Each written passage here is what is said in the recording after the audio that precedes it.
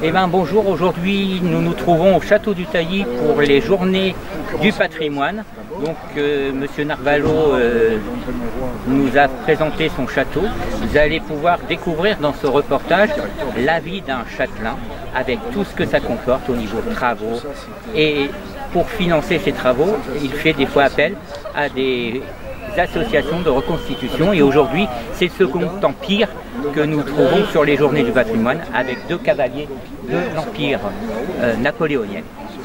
Nous nous retrouverons prochainement sur de prochains reportages pour TV67.2 Co. Des reportages qui vont venir d'ici quelques temps sur la chaîne qui date de 2015 suite à un problème de disque dur où nous avions perdu ces reportages et nous allons pouvoir vous les faire découvrir d'ici quelques temps. Et eh bien à bientôt, on se retrouve pour de prochains reportages pour TV67.2 Merci, au revoir. S'il vous plaît Ouais, collé, serré, pas trop près, plutôt dans la pelouse, comme ça vous avez plus de recul pour bien voir le château. L'idée c'est que vous puissiez voir le château dans son intégralité pour bien comprendre ce que je vais vous raconter. Donc bienvenue au château du Tailly, je suis Nicolas. Euh, je vais vous accompagner pendant à peu près 40-45 minutes. L'idée va être dans un premier temps bien que je vous explique la partie extérieure, donc les différentes évolutions et euh, constructions. Et dans un second temps, donc, nous allons rentrer dans le château où là vous découvrez les pièces principales d'un Zavo châtelain. Après, si vous le souhaitez, ce sera le temps d'aller visiter le musée de 44 au premier étage des écuries, d'aller parler bien sûr avec les, euh, d'époque napoléonienne et puis ensuite de vous promener dans le parc et dans les jardins du château. Sachant que ces deux dernières visites se font de manière libre. Surtout si vous avez des questions tout au long de la visite, n'hésitez pas à me les poser de manière à rendre la visite plus interactive et plus sympathique. Très bien. Alors, pour revenir aux origines du site, on remonte au 12e, 13e siècle. Donc on est en plein Moyen Âge, on sait qu'il y a des potiers à proximité, on sait qu'il y avait une construction primitive, malheureusement on a très peu d'informations. On sait essentiellement qu'à partir du 14e, 15e, il y a un manoir fortifié à la place du château actuel. Donc quand on remonte 600, 700 ans en arrière, il faut faire abstraction de tout ce que vous avez autour. Rien n'existait à cette époque. Une construction primitive d'allure défensive, un manoir fortifié avec des tourelles, des meurtrières, des murs d'enceinte très importants. Aujourd'hui, nous sommes sur les terres de Duclerc, mais anciennement nous étions sur les terres de la ville du Trait. La seigneurie du Trait est une seigneurie très puissante qui a été fortement impactée par la guerre contre les Anglais et qui, au sortir de cette guerre, fin 15e, vend cette partie de leur seigneurie qui s'appelle le fief du Tailly. C'est comme ça qu'au début du XVIe siècle, ça rechange à nouveau de propriétaire et qu'en 1500, 1530 à peu près, c'est un chanoine, un religieux de la cathédrale de Rouen, une personne hautement placée, c'est un proche de Louis, euh, du duc d'Amboise, qui est le premier ministre de Louis XII, donc quelqu'un d'important, qui fréquente des gens importants. C'est l'époque où l'architecture italienne arrive en Normandie. Et ce fameux religieux, donc Jean Dufay, achète le fief du Tailly. Il n'est lié en aucun cas au fief du Tailly, mais il va devenir propriétaire, et de là il va se faire appeler Jean Dufay du Tailly. Il sera donc seigneur du Tailly. C'est lui qui va raser le manoir fortifié dont je vous ai parlé en début de visite, et qui va construire le nouveau château que vous avez derrière moi. C'est l'époque où l'architecture italienne arrive en Normandie, il est de bon goût eh bien, d'avoir une construction moderne, donc dans des dispositions modernes, dans la vallée de la Seine, parce qu'il est de bon goût eh bien, d'avoir une résidence secondaire dans la vallée de la Seine. Et donc il commence lui la construction de la partie centrale. Cette partie centrale qui vous pouvez le voir a une couleur bien particulière. Elle a une couleur jaune d'or et elle est bâtie dans un style qu'on appelle la seconde renaissance italienne. Avec donc différentes spécificités. Hein. Vous avez des pilastres doriques, ioniques, hein, ce sont les chapiteaux qui ont des formes différentes, il y a différents ordres. Vous avez des prises de décoration qui séparent les étages. Vous avez des niches qui ne sont pas faites pour abriter des statuettes mais purement décoratives. vous avez aussi des frises autour des fenêtres. Et vous avez un encorbellement, une espèce d'excroissance entre le rez-de-chaussée et le premier étage. En fait, cette pierre qui vient du bassin parisien et a été chargée sur des navires qui a remonté la Seine pour arriver au château. Vous imaginez le coût incroyable de ce genre de budget de ce genre de travaux, alors que nous avons de la, la pierre à 500 mètres du château. Hein. La pierre de Vallée de Seine, celle qu'on trouve à 400 mètres du château, a servi à construire tous les monuments rouennais. C'est celle que vous avez sur les pavillons latéraux. C'est une pierre blanche avec des inclusions de silex noir à l'intérieur. C'est la même pierre que vous avez, pour ne pas citer, les falaises d'Étretat. Les galets sont ces silex qui sont libérés par le frottement des vagues, qui usent le calcaire et qui libèrent les galets qui, à force de rouler, deviennent qui libèrent les silex qui, à force de rouler, deviennent galets. C'est donc la même nature de pierre. Donc au milieu, une pierre jaune d'or, pierre de Saint-Leu. Sur les côtés, pierre blanche, pierre de Comont. La pierre jaune d'or donc de Saint-Leu a été choisie parce qu'elle se sculpte très bien. Comme vous pouvez le voir, il est rare de voir des sculptures aussi finement ciselées sur une façade. Donc là, il est facile de le voir sur les blasons et sur les niches, euh, sur les coquilles que vous avez au fond des niches. Cette construction est assez incroyable parce qu'il en reste très peu d'exemplaires en Seine-Maritime, c'est presque l'unique. Mais malheureusement, il a été inachevé. Normalement, on aurait dû avoir le double de façade Renaissance. En fait, il faut envisager approximativement que les blasons ici faisaient le centre du projet initial. Le châtelain meurt vers 1544 et les travaux sont interrompus. Ce qui fait qu'on a euh, les travaux qui ont commencé ici. Je vous expliquerai de l'intérieur comment on le sait. En tout cas, les travaux ont commencé par la droite. Et ils s'étendaient vers la gauche. Le château devait se terminer à l'endroit où vous avez la lanterne avec la crosse. Du manoir fortifié, il n'en reste rien. Il ne reste que la cave. Et il reste la maison au bout. Cette maison est un des restes du manoir fortifié et elle aurait dû être abattue une fois le château du XVIe siècle terminé. Le château n'a pas été terminé, la maison est restée donc toute seule dans son coin isolé. Parce qu'à nouveau, quand je vous parle de ça, les pavillons là-bas n'existent pas et les pavillons là-bas n'existent pas non plus. C'est seulement au XVIIe siècle que les propriétaires, sa descendance, hein, ils transmettent des neveux et nièces qui décident de redonner du faste à la seigneurie du Tailly. Et c'est donc vers 1620 qu'ils reprennent la construction du corps central par l'adjonction de deux pavillons similaires, deux pavillons complètement identiques, dont l'originalité sont les deux demi-arcs recouverts de feuilles de cuivre. On est sur un style Louis XIII avec une pierre locale. Dans ce pavillon-là, on y fait une très grande chapelle. Il y a toujours un trou entre la maison de la pan de bois. Je suis venu il y a un an et demi, elle était toute en colombage, la maison. Donc il y avait un trou entre le manoir à pan de bois et donc le château. C'est seconde moitié du XVIIe, en 1658, ils inaugurent ce qu'ils vont appeler maintenant ad vitam aeternam, la maison du chapelain. Donc la maison du bout va recevoir le chapelain, celui qui dessert la chapelle. Entre deux, là où il y a la lanterne en cuivre, on crée un corps de liaison qui va recevoir la sacristie. Et ensuite, vous arrivez dans la chapelle. Il est intéressant de voir que sur euh, plus d'un tiers du château, presque une moitié, c'est uniquement consacré à la vie religieuse. Vous imaginez Ce qui montre l'importance à l'époque. Pourquoi avoir un chapelain à demeure? Parce qu'il y a trois offices par jour.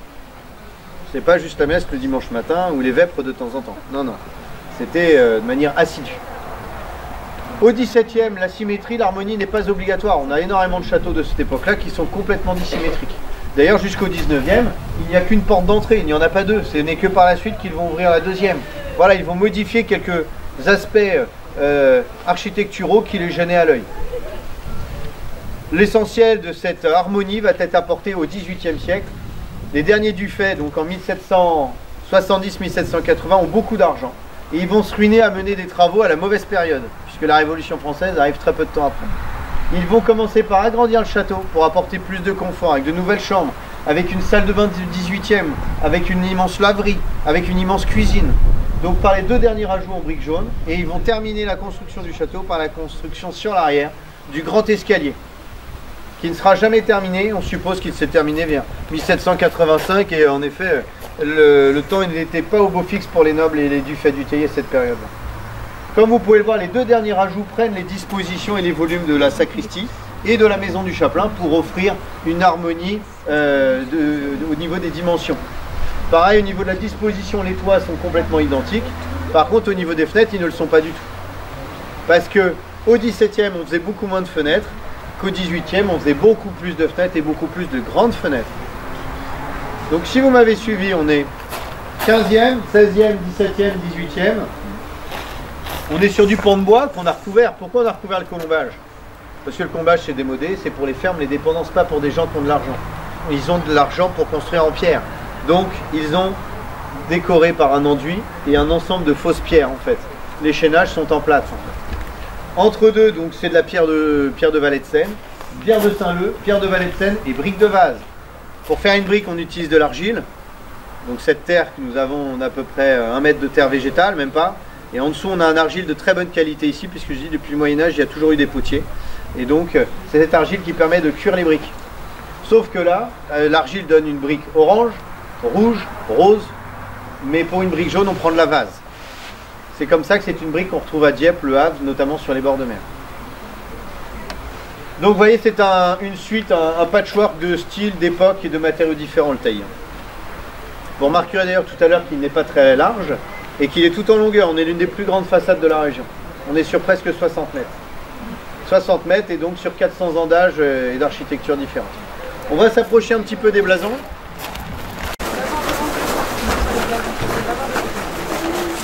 Donc les Dufay du Tailly sont arrivés donc en 1530, ils vont rester jusqu'en 1804. La Révolution française les ruine. On leur prive de leurs droits seigneuriaux, les fameux droits féodaux. On leur prive de leurs terres, de leurs fermes. Et puis, eh bien, ils vont euh, manquer de, substance, j'allais dire, pour qu'au début du 19e, eh bien, ils ne puissent pas transmettre leur seigneurie à la descendance. La dernière héritière est mineure et elle, ne peut pas assumer le domaine. C'est comme ça que les derniers, donc elle, la dernière noble, vend à des bourgeois. Il n'y aura plus jamais de noble au château du. Malgré tout, ils ont mis un point d'honneur à conserver tous les signes de la noblesse et de la monarchie en conservant la présence de ces blasons, ainsi que, alors moi je la vois bien, il y a une très grosse fleur de lys en haut du puits, en partie haute. Et lorsqu'ils vont terminer le grand escalier à l'intérieur, ils vont même refaire un très gros corps de balustre, euh, enfin la potence, le premier élément, en remettant même les blasons des Dufay du Tailly, alors que ce n'est pas du tout leur famille, vous voyez. Donc ça c'est très important parce que normalement la plupart de nos châteaux euh, à la Révolution française ont été pour beaucoup abîmés. Très souvent ce genre de choses était buriné ou arraché. Or là ils ont été conservés. Ce qui montre que quand même le, seigneur Dufay du Tailly n'était pas trop mal avec les habitants environnants. Donc il y a le blason de la famille Dufay et celui-ci. C'est une croix avec quatre étoiles. Quatre étoiles, la croix est euh, rappelle les origines chrétiennes de la famille. Et les étoiles ne sont pas des étoiles, ce sont des, les éperons. C'est ce que portaient les chevaliers au niveau des talons pour frapper les flancs des chevaux. Donc ça rappelle les origines chrétiennes et chevaleresques de la famille. Il y a trois blasons qui sont plus intéressants que les autres. Alors en fait, quand je vous dis une généalogie, pourquoi? Parce qu'à gauche, vous avez le blason homme. À droite, vous avez un blason différent, c'est celui de l'épouse. Donc systématiquement, tous les blasons représentent des mariages. En partie basse, vous avez un des blasons les plus intéressants, puisqu'il comporte dans le collier, le collier c'est ce qu'il y a tout autour, hein, la devise de la famille Dufay du Tailly qui est faire bien et laisser dire.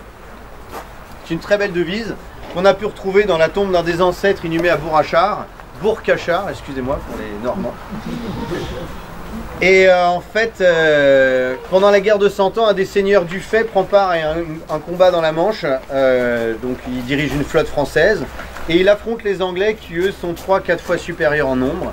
Et en fait, ça lui a valu beaucoup de problèmes par la suite parce qu'ils se sont pris une raclée. Comment dire Hein, quoi? Monumental. Magistral, c'est ça que je. Magistral. J'étais sur marginal, mais non, c'est pas ça. Magistral. Et en fait, le roi de France lui aurait dit faire bien et laisser dire. Donc c'est resté la devise de la famille du Felpiti. Alors comme vous pouvez voir, ceux-là sont sculptés dans la masse. Parce que dès l'origine, lorsqu'ils ont construit le, corps central au XVIe siècle, ils ont laissé des blocs de pierre en attente. On le voit ici tout simplement parce qu'il y a un joint. Donc il y avait une demi-pierre là, une demi-pierre là-haut. Alors qu'ici, on voit que la découpe fait parfaitement le contour des blasons, ils ont été rapportés par la suite. En tout cas, sur euh, le reste, vous retrouvez à chaque fois un mix d'hommes et de femmes. Sauf le sixième en bas, vous avez un blason du fait à gauche, un blason du fait à droite. Là, c'est pour apparenter une cousine. Ce du fait du taillis a épousé une femme du fait du taillis. C'est ce qu'on appelle la consanguinité, qui arrivait assez fréquent. En fait, euh, novice, je pensais que c'était des vrais mariages d'amour, comme le dernier tout en haut. Où à gauche, vous avez un blason du fait, à droite, vous avez un blason vierge. Là, c'était pour apparenter. On se pensait un mariage annoncé qui n'avait euh, jamais eu lieu. Ou alors un mariage avec une roturière, une bonne, une femme de chambre, une bergère. Mais en fait, non. C'est un noble qui a épousé une bourgeoise. Une bourgeoise qui avait beaucoup d'argent. Donc euh, ça ne se faisait pas avant, et à partir de fin 17 et surtout au 18e, ce blason-là est fin 17e. Eh bien, les bourgeois, les nobles vont épouser des bourgeois pour récupérer des finances. C'est peut-être d'ailleurs ce qui va engendrer les derniers gros travaux de construction du château. Est-ce que vous avez des questions? Bon, eh bien, on va rentrer vite. Allez-y, allez-y. Vous voulez sortir Allez-y. Une fois que c'est complet là, messieurs, dames, euh, vous allez pouvoir venir ça. Ça, c'est vous là.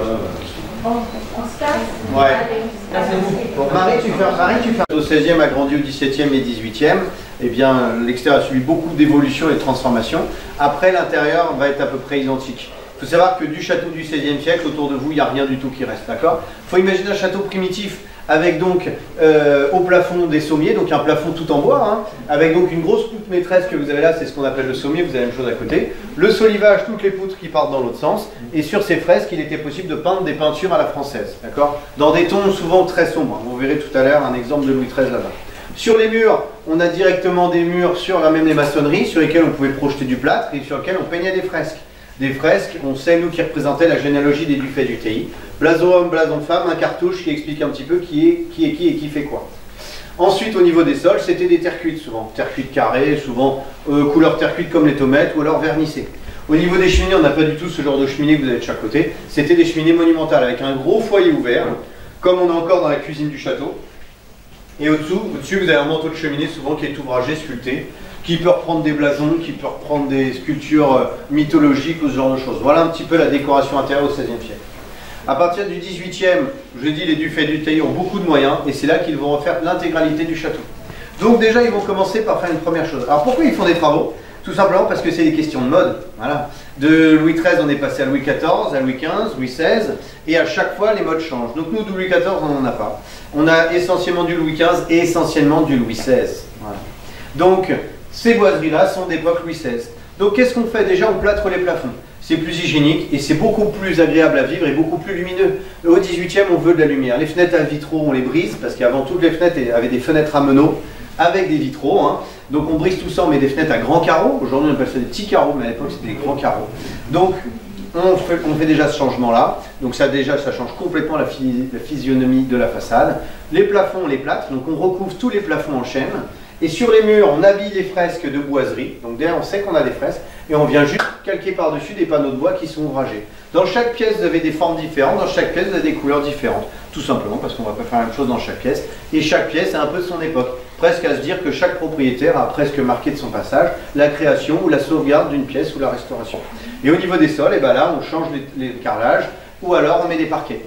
Voilà comment ça se fait. Et on détruit les cheminées monumentales. On fait des grandes cheminées à foyer ouvert comme vous avez là-bas, mais qui ne sont plus du tout avec ce à quoi ça ressemblait avant. Donc vous voyez déjà l'intérieur du château a fortement changé. Ensuite, chaque pièce prend une certaine utilité. Il est à cette époque-là, on divise les espaces. On veut plus de grandes salles, on veut des plus petites pièces, et chaque pièce prend une utilité. Au bout, vous avez le petit théâtre pour le divertissement et l'amusement. Vous avez le salon chinois, salon thé, salon de lecture. Vous avez le vestibule qui est la véritable entrée du château qui est desservi par le grand escalier. Vous avez ensuite la salle à manger, le salon de musique, et après, vous avez toutes les autres parties qui sont réservées à la vie du personnel, qui sont les laveries, les cuisines, les gardes-manger. Là où chacun donne plein sud, où il a des fenêtres en façade, où il a des hauteurs sous plafond de 4,50 m, le personnel a des hauteurs parfois de 1,80 m, tout donne sur l'arrière et plein nord. Voilà. Le monde est divisé en deux catégories.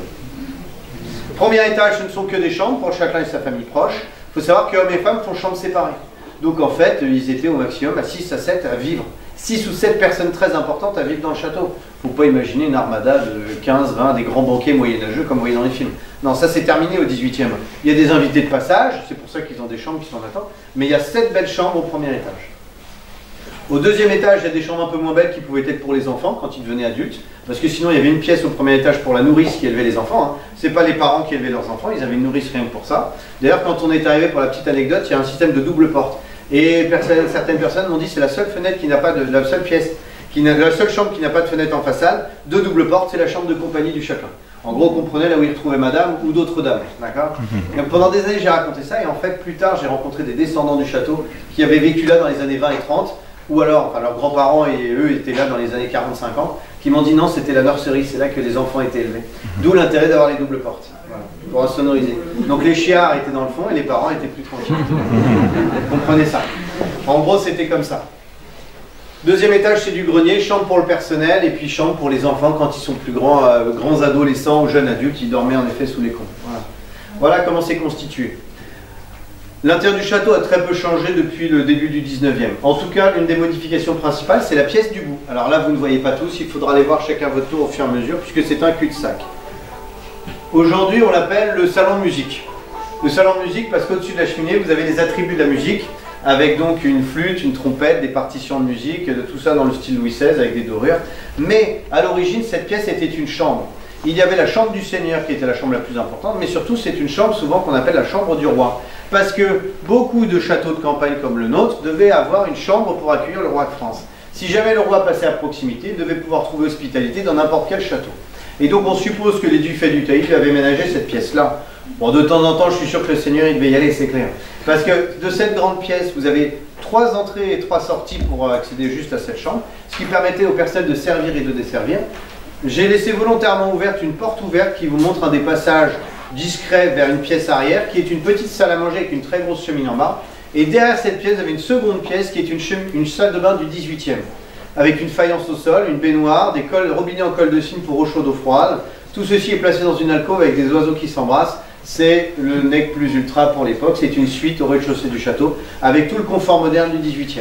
Aujourd'hui, il est extrêmement rare de découvrir une salle de bain du 18e. C'est pour ça que euh, c'est l'une des pièces les plus rares qu'on ait au château du Thé. Pour la petite anecdote, Jacques Garcia, le propriétaire de champ de bataille, voulait la racheter pour l'installer au champ de bataille. Donc de transformer donc, euh, de cette mode du 18e arrive le 19e avec les nouveaux propriétaires, les bourgeois, la famille Quèvremont. Lui, il, transforme la chambre en salon parce qu'à cette époque-là, les propriétaires ne vivent plus au rez-de-chaussée de leur château. Ce sont les pièces d'apparat, ils vivent dans les étages. Donc les propriétaires, à partir de là, vivront toujours au premier étage du château. 19e, lui, il a beaucoup d'envie. Euh, c'est lui qui détruit la très grande chapelle dans le, théâtre, dans le jardin. Il la transforme en écurie. C'est lui qui détruit la chapelle dans le château. Il la transforme en théâtre. C'est lui qui aménage ce poêle, il fait des fouilles archéologiques sur place, enfin voilà, il fait plein de choses et il nous a laissé beaucoup de documents très intéressants. C'est lui qui aménage donc cette salle à manger. Excusez-moi monsieur, il faut que je parle de la salle le poêle derrière. Alors la salle à manger devait sensiblement être là parce que je vous ai dit à partir de là vous avez un système de cloches qui permettait d'appeler le personnel et donc là les propriétaires mangeaient là matin, midi et soir. Le poêle en faïence date du 19e, c'est ce qu'on appelle les poêles de l'Est, poêle alsacien. En bas on allume un feu de cheminée, ici c'est un chauffe-plat. Pourquoi? Parce que les repas ne duraient pas 20 minutes comme aujourd'hui, ils duraient 45, 1 heure, 1 heure et demie. Donc on remettait les plats au chaud de telle sorte à ce qu'ils ne refroidissent pas. Toute la partie basse est 19e, et c'est encore un patchwork à l'image du château, c'est que toute la partie haute est 18e. Ce sont des éléments anciens qui ont été réadaptés. D'ailleurs, si vous remarquez bien, les couleurs de faïence ne sont pas les mêmes. On a un blanc et là on a une couleur bleutée. Parce que normalement, ces poils-là crachent la fumée par l'arrière directement dans le conduit de cheminée. Or là, de manière esthétique, la fumée se dégage par le dessus et est camouflée par cette colonne. Chose amusante, dans un grenier, on a une colonne d'avance. Alors depuis qu'on est au château, je vais vous l'expliquer un petit peu tout au long de la visite, c'est qu'on a fait beaucoup beaucoup de travaux, on est très très très très loin d'avoir terminé. Donc ce poêle est à restaurer, comme vous pouvez le voir il a éclaté. Hein. Euh, la, colonne est fendue euh, par l'humidité, non pas par le gel, hein. la chauffe peut-être aussi, hein. un emballement du poêle.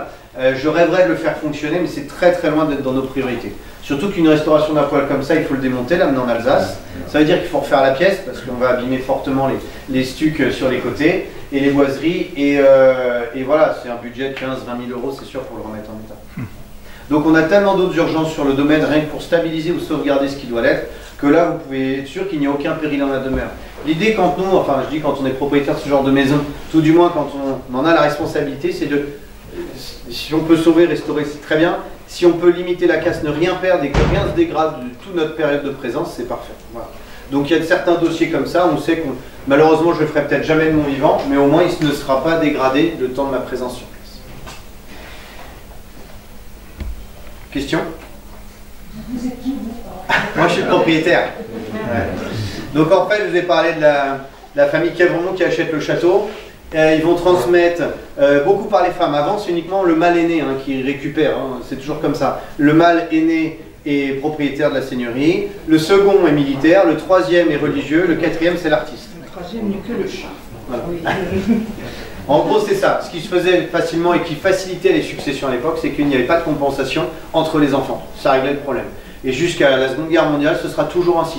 C'est comme ça que le château va toujours rester dans la même famille. Quévremont, Caron, le Nepveu, Borde, et les Bordes sont propriétaires de la plus grosse compagnie filiale sur la Seine qui s'appelle l'Union Normande. C'est ce qui va faire la richesse du château jusque dans les années 50-60.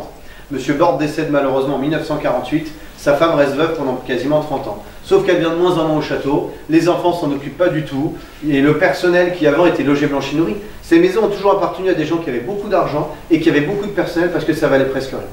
La Seconde Guerre mondiale apporte les congés payés, les arrêts maladie, les vacances, les indemnités tatars.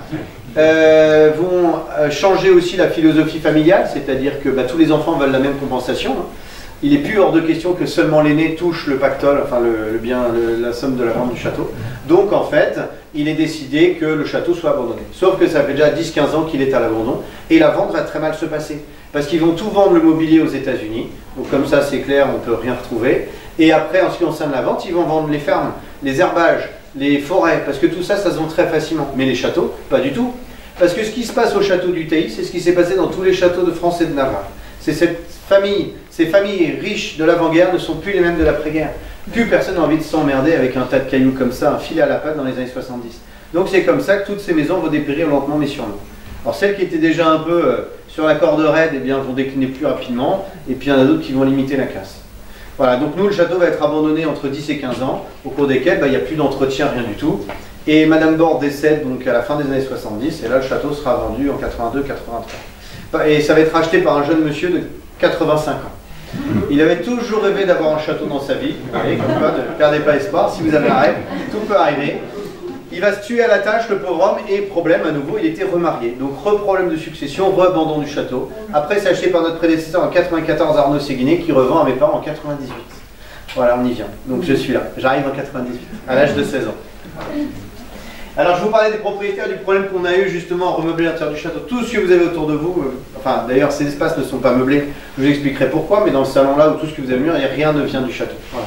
Ou très peu de choses, d'accord euh, on fait beaucoup, on a beaucoup de dons, on avait quelques meubles de famille, euh, et puis on récupère. On achète des fois, rarement, parce qu'on a d'autres priorités à financer. Donc souvent, c'est des meubles 19e de style, voilà, mais qui donnent l'apparence de.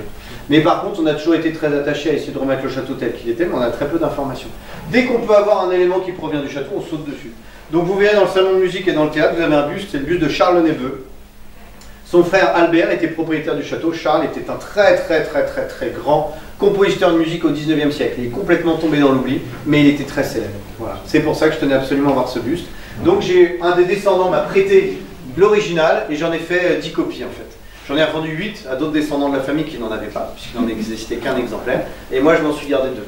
C'est la même chose pour ce tableau. Il existait dans la famille une très belle toile de Paul Mascar, qui est un peintre rouennais de l'école de Rouen, qui, qui a un style tout à fait impressionniste. Donc ce tableau, je le connaissais depuis longtemps et j'ai cherché qu'il y ait une personne pour me faire une copie. Donc j'ai fait un appel sur Facebook et en fait j'ai eu énormément de retours et un journaliste a eu la très bonne idée de le faire aussi le Paris-Normandie. J'ai eu 70-80 demandes de personnes qui pouvaient le faire. Le problème c'est tout le monde se dit pouvoir faire une copie de tableau à l'identique, mais en fait c'est beaucoup plus compliqué. Voilà une des premières copies que j'ai eues. Vous pouvez voir que ça ne ressemble pas du tout. Alors ce monsieur est charmant et c'est devenu presque un ami, c'est monsieur Bian. Il a plus réinterprété le tableau, vous voyez bien que c'est pas du tout la même chose. Par contre, sa toile est très belle, mais dans un ton et des teintes et une technique de travail tout à fait différente. Et j'ai fini par trouver une vraie copie, ce qui m'a donc fait la copie à l'identique. Alors faire un travail comme ceci, libre, je dirais, c'est beaucoup plus facile. Faire une copie, c'est insupportable et très délicat parce que aucun geste n'est irréfléchi, tout est calculé en fait. Chaque emplacement de point et chaque teinte du point doit être réfléchi. D'ailleurs, toutes les anomalies sur le château, moi j'en connais, j'en vois quelques-unes, elles ont été reprises. Chose amusante, vous pouvez voir qu'ils faisaient des foires encore. L'image du château avec la belle pelouse comme là, ça n'existait pas. Parce que même devant le château, ils laissaient les arbres grimper et puis ils fauchaient à la main. Parce que tout était bon à prendre. Voilà, puis on n'avait pas de tondeuse, etc. Donc voilà cette toile qu'on vient de refaire en copie. Donc là, il part en encadrement cet automne et on va pouvoir le remettre dans cette pièce. En ce qui concerne les modes, ça c'est Louis XIV, très austère. Euh, Louis XIV, Louis XIII, c'est un peu pareil. Voilà, là on est sur du Louis XVI. Donc c'est des petites chaises médaillons comme ça, vous voyez. Ceux qui ont de l'argent au XVIIIe ont ça, ont des boiseries peintes sur les murs. Ceux qui sont complètement plus dans le cou et complètement démodés, ils ont des meubles comme ça, du plafond non plâtré et pas de boiserie sur les murs. Aujourd'hui, on aurait tendance à vouloir revoir les pièces de bois. Mais aujourd'hui, on ne peut pas parce que ça, créerait un dérèglement complet dans la lecture des pièces. Question? Il est 3 heures. Nous, euh, sachant qu'on veut remettre le château dans sa configuration fin 18e, début 19e, on a bien sûr refermé. Et euh, rapidement, en même temps, parallèlement à tout ça, on a découvert les difficultés qu'on avait à avoir ce genre de propriété. Donc, on a découvert les gros problèmes financiers, les problèmes pour payer le château, parce que nous, il fallait qu'on paye le château, qu'on paye les, charges, les coûts de fonctionnement, mais en plus quelques premières restaurations. Au début, on faisait très peu de restauration parce que bah, c'était des budgets beaucoup trop élevés. plusieurs fois, il s'en est fallu peu pour qu'on rende le château. Et la première activité, donc il a fallu trouver des activités pour générer euh, de l'argent avec le château. La première était d'ouvrir au public. Le culturel, c'est passionnant, mais ça rapporte rien du tout. La deuxième a été beaucoup plus commercial. Ça a été d'ouvrir les espaces pour des réceptions privées professionnelles. Tous les jeunes mariés qui venaient au château du Théy s'attendaient à trouver des galeries des glaces comme à Versailles, parce qu'ils avaient souvenir petit d'avoir visité des grandes pièces à Versailles. Et ils s'attendent, n'ayant jamais visité d'autres châteaux de leur vie, à trouver le même genre de volume dans d'autres châteaux de la région. Sauf que chez nous, ça n'existait pas. Donc ils étaient fortement déçus de voir que c'était des petites pièces. Et donc à un moment, on se dit, on va rouvrir et on va développer cette activité. C'est comme ça qu'avant, on faisait 25-30 mariages par an. Aujourd'hui, on se limite à une dizaine parce qu'on a généré beaucoup d'autres activités beaucoup plus intéressantes et rémunératrices qui nous maintenant limitent. Mais le château a un tel gouffre financier que je ne sais pas si un jour on aura l'occasion de refermer ses boiseries parce que tout est bon à prendre. Il faut faire feu de tout, comment on dit, feu de tout bois dans tous les toits Feu de tout bois, ouais. Ah ouais. Là, cette semaine, demain, j'ai quoi? Ah, j'ai visite de groupe. On a des Américains qui viennent dîner mardi. Jeudi, j'ai une murder party pour une entreprise. Vendredi, je suis de séminaire. Et samedi, dimanche, mariage. C'est la saison. Après, on sort deux années de Covid, donc je peux vous dire, on y va à fond. Euh, ma femme, je ne sais pas si elle sait encore comment je m'appelle parce qu'on se croise beaucoup. Mais euh, voilà, on n'a pas le choix. Donc c'est pour ça que ces boiseries, normalement, elles sont encore existantes, on les a. Mais normalement, ah ouais, ouais, on les a. Mais normalement, c'est bien sûr clos. Voilà. On va, oui jeune homme, désolé depuis tout à l'heure, je vous laisse patienter. Oui. Ah. Non, parce que si j'ouvre, tout le monde va se décaler pour voir. Il n'y a rien. Du coup, tu vas peut-être voir ma mère dans la cuisine. Non, c'est les couloirs de service. Donc c'est euh, tomates au sol, tomates sur les murs, un grand couloir, il y a un premier garde-manger, après il y a un escalier. C'est pas ma mère. Voilà. À partir de là, on change de décor, c'est beaucoup moins sophistiqué. On va avancer un petit peu donc vers le salon chinois. C'est curieux ce carrelage et qu'il n'est pas un plancher. Alors, Bravo madame, bon réflexe. Non, mais C'est vous? Oui, oui, avec. Alors, on va avancer un petit peu et je parlerai du carrelage euh, dès que tout le monde.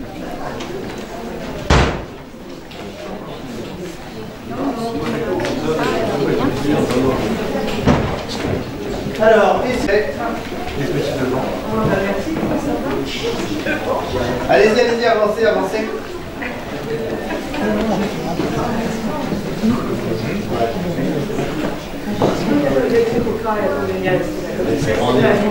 Ce carrelage dans l'entrée. Alors là, bah, là c'est parquet, mais là-bas, vous avez le carrelage dans l'entrée dans la salle à manger. Alors, euh, il devait y avoir probablement en effet une- un parquet plutôt dans, le, dans la salle à manger. Et en 1920, ils vont faire des travaux très importants dans le château, notamment surtout dans la pièce d'à côté. Et ils en ont profité pour remplacer le parquet qui était très très malade apparemment. Et ils ne se sont pas embêtés, ils ont coulé une dalle en béton et ils ont mis un carrelage. Et à l'époque, la mode c'est le granito. Voilà. Donc c'est l'époque des carrés de ciment, vous savez, les carrés de ciment, les tapis fleuris.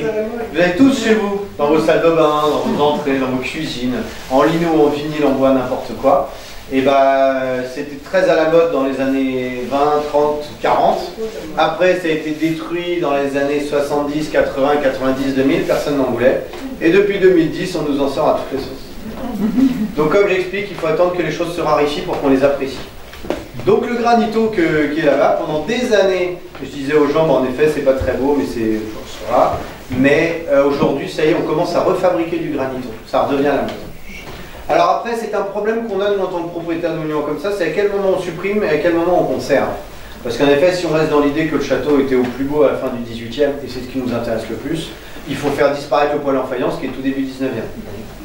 Donc voilà, après les monuments historiques sont contre cela. On a eu un problème sur le côté du château quand vous irez voir la maison du Chapelain. La façade avant est crépie, donc je vous ai dit c'était une façade en bois crépie. Le côté est en brique rouge et l'arrière est en colombage. Parce qu'en fait, le colombage était apparent côté ouest. Il a pourri au 19e, il est remonté en brique. Aujourd'hui, où s'arrête et où doit commencer la restauration? Est-ce qu'il faut le remettre en, en de bois, comme à l'origine, ou est-ce qu'il faut garder trace de modification du 19e donc il a été décidé par les historiques de garder la façade en briques, puisque refaire une façade bois alors qu'elle a déjà pourri une première fois, elle aurait pourri de la même manière. Mais on aurait pu la maquiller ou autre chose, mais bon, ils ont décidé de la garder comme ça. Donc là, on a une façade brique rouge sur le château, c'est la façade ouest, parce que c'est la plus exposée. Voilà, donc là vous arrivez dans les plus belles pièces. Donc, donc là-bas vous avez vu les boiseries Louis XVI, là on est dans des boiseries Louis XV. Louis XV c'est le style rococo, c'est un style fortement travaillé, ouvragé comme ceci. Ce qu'on trouve systématiquement c'est ces espèces de formes avec les petits trous. C'est ce qu'on appelle les rocailles. Voilà, ça c'est typique Louis XV. Louis XV c'est très lourd en meubles, excusez-moi ça vous donne ça. Donc ces meubles marqueterie, euh, forme galbée, il a été incorporé des chinoiseries. Il y a une mode au 18e qui était les chinoiseries. On adorait tout ce qui venait de Chine. Aujourd'hui, ce qui vient de Chine, on aime un peu moins. À l'époque, c'était exceptionnel parce que ça venait du bout du monde. Il faut savoir que Rouen était le plus grand port de France en 1930, imaginez. Hein. c'est impensable comparé à Brest, Saint-Nazaire, Toulon, Marseille. Non, non, Rouen est le plus grand port de France. Donc imaginez le trafic en Seine y avait. Nous avions des ports déjà très anciens et très puissants, Dieppe, Saint-Valery-en-Caux, Le Havre. Et donc de ces, ports partaient au 18e des convois vers les, vers les pays asiatiques. Un navire qui partait de chez nous mettait 6 à 8 mois pour arriver en Chine. Ensuite, il restait une petite année, 10 mois, on va dire, pour vider ses soutes de produits français qu'il échangeait contre des produits chinois ou revendait, de telle sorte à revenir en France avec des produits qui valent très cher. C'est comme ça qu'il montait notamment les fameuses épices, les ivoires, des meubles en bois laqué, etc., etc. Tout ceci remettait 6 à 8 mois pour arriver en France. Votre porcelaine chinoise ou vos chinoiseries arrivaient en France au bout de 2 ans et demi, presque 3 années. Donc quand on vous ramenait votre vase chinois, votre potiche, bah, on l'appréciait véritablement et on venait de loin pour venir apprécier ce genre de produit. On vous invitait ici à venir renifler du poivre ou de la vanille. Aujourd'hui, c'est d'un banal. Mais à l'époque, c'était incroyable. Il y avait des bergères, des cabriolets, on s'installait là, on buvait du thé avec euh, une partie de jeu, et voilà à quoi servait le salon chinois. D'ailleurs, c'est la. Parce que c'était métier qu'ils avaient pour deux heures. Puis si tu mangeais après, la location d'après tombait à l'eau. C'était juste pour le voir et le sentir. Donc c'est ce genre d'expérience qu'on faisait dans les châteaux. C'est ça, tout à fait. Donc voilà pour le salon chinois. Donc ce qui les a préservés, euh, c'est qu'ils sont hauteurs, donc les gens n'ont pas pu les tripoter, les découper, ou alors tout simplement être abîmés par la lune ou par le soleil. C'est pour ça qu'ils sont jaunis bien sûr, mais ils, ont, ils sont toujours là présents. En dessous, vous avez un miroir. Alors, un miroir aussi, c'est quelque chose de très cher, très coûteux à l'époque des châteaux qu'on trouve en, quantité limitée. Ça, c'est une glace au mercure. Alors, quand on sait qu'elle date du 18e Tout simplement, c'est qu'elle est coupée en deux éléments. Vous avez une grande glace en bas, puis une petite en haut. On ne savait pas faire à l'époque de grands miroirs, donc systématiquement, ce sont plusieurs éléments qu'on met ensemble. La galerie des glaces, c'est des miroirs de cette taille-là, mis bout à bout avec plein d'autres. Les raccords sont parfaits, on a l'impression que ce sont des grands miroirs. Mais quand vous regardez bien, c'est coupé comme ça. Celle-ci est endommagée par le temps, ce qui fait qu'en effet, la séparation euh, apparaît. On a un magnifique salon au premier étage, le salon Régence, où là, il y a quatre miroirs en parfait état, et c'est vrai que la séparation est beaucoup plus discrète. Pour faire ces miroirs, on fait du mercure. Pardon, c'est pas du mercure, on utilise du mercure. Là aussi, c'est très compliqué, parce qu'il faut trouver le mercure déjà. Donc c'est une roche qu'il faut liquéfier. Une fois qu'elle est liquéfiée, on vient la coller, on vient plonger la plaque de verre sur cette partie liquide. Le mercure reste collé et sèche sur le verre, et c'est comme ça qu'en séchant, ça renvoie la lumière. Enfin l'image. Le problème avec ça, c'est que déjà trouver le mercure, bon, c'est très coûteux. Souffler le verre, grande taille, tout le monde ne sait pas le faire, mais surtout, c'est que c'est hautement toxique.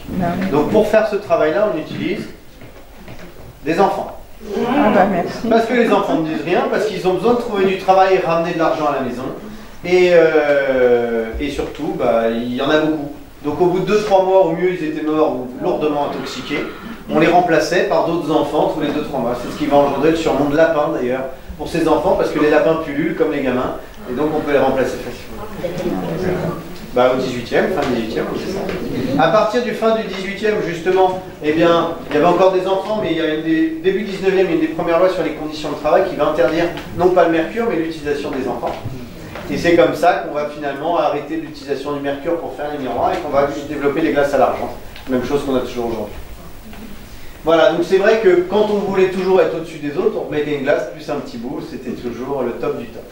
Ensuite, les cheminées, pareil, sont en marbre dans les pièces d'apparat principales. Le marbre aussi à l'époque coûte très cher. Ça, c'est un ménage qui vient de Belgique. Ce qui est très compliqué, c'est d'arriver à faire ces motifs parce que c'est une pierre très compliquée à sculpter. Et ce qui est rare ici, c'est la plaque de fond qui est très grande et les deux retours qui sont de la même série. Après, sous vos pieds, vous avez un parquet. Alors, un parquet en chaîne, hein, qu'on restaure, puisque là, vous avez un cabochon, c'est celui-ci. Donc, ça, c'est neuf. Ça, c'est neuf, ça, c'est neuf. Là-bas, c'est neuf. Donc, on fait des greffes de temps en temps, parce qu'au-dessus, vous le voyez à peu près dans cet état-là, mais en dessous, il est comme ça. C'est comme derrière les boiseries. On a de gros problèmes derrière les boiseries. Alors c'est d'ailleurs, si vous y pensez, c'est des, des plafonds en stuc qu'on a fait, on en fait, des parquets on en fait, des boiseries on n'en fait plus du tout parce que ça coûte beaucoup trop cher. C'est le revêtement mural qui revient le plus cher. Donc ces problèmes d'humidité nous coûtent très cher parce que derrière il n'y a pas de ventilation, rien du tout. On est en Normandie, c'est quand même un peu humide. Donc c'est vrai que les boiseries s'abîment énormément, comme derrière là, bon, je ne vois pas, mais il y a un panneau abîmé. Et donc les parquets, donc ça c'est bâti sur des lambourdes, il y a un vide sanitaire. Et, euh, voilà. Le problème qu'on a au niveau de nos monuments, nos monuments en France et, euh, et un peu partout, c'est qu'en fait, bah, toutes ces maisons qui sont 16, 17, 18, 19e, étaient toujours très bien entretenues. Elles ont connu un fort déclin souvent au cours du XXe siècle. Et au début du 21e, on récupère des choses qui sont, au bout du bout. Voilà. Ou des matériaux qui sont mûrs. Parce qu'une belle pièce de bois, même si elle n'a pas subi l'affreux du temps, si elle est un peu plus faible qu'une autre, bah, vous voyez, la vermine s'installe, elle y va. On a des blocs de pierre sur les façades qu'il faut qu'on change.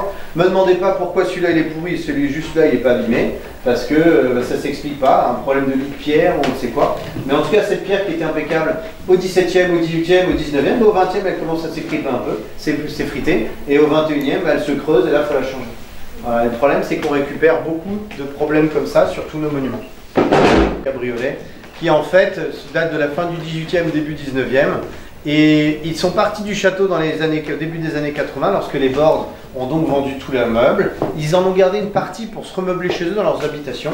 Et on a un descendant, euh, Charles Miret, il y a 6 ans, il m'a dit, bah voilà, moi j'en fais rien, je souhaiterais les redonner au château. Donc c'est comme ça que cette série ci est revenue euh, au château. Avec leur tapisserie d'époque, vous voyez, d'un fauteuil à l'autre, euh, ont fortement changé de couleur à cause de la lune et le soleil. Beaucoup de châteaux changent leurs fenêtres. Moi, je trouve que c'est un peu une aberration parce que, bien sûr, on ne peut pas parler isolation, ce genre de choses, parce que les, elles prennent l'air, elles se ferment mal. Les carreaux, c'est du 1 mm. Mais ça a autant d'allure, je trouve, que nos vieilles boiseries Louis XV. Donc les fenêtres sont d'époque. Hein. Et quand on ferme les volets, eh bien là, vous apercevez tous les carreaux d'origine qui peuvent être. Regardez juste par la fenêtre derrière vous les chevaux qui passent. Vous les reverrez ah tout à l'heure, mais ah moi je ne m'en lasse pas, c'est magnifique. Voilà, depuis hier, à chaque fois que je les vois passer, je coupe ma vie.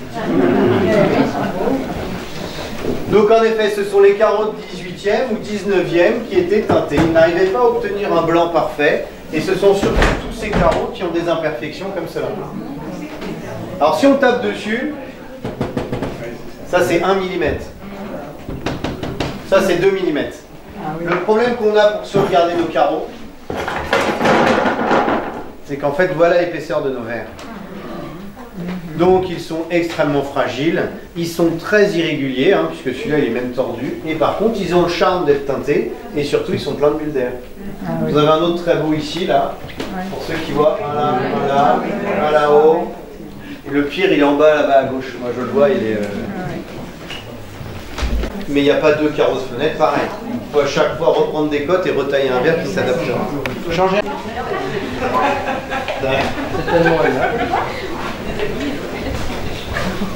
Allez-y, un verre, ça chauffe vite. On va mettre un petit morceau de Sean Paul.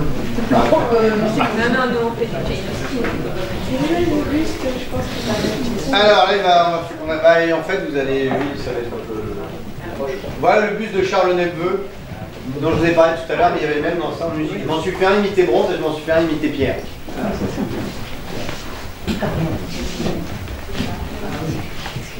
Alors avancez un petit peu, messieurs, dames, s'il vous plaît, dégagez un petit peu l'entrée. Vous pouvez venir jusque là, on va pas avoir le choix.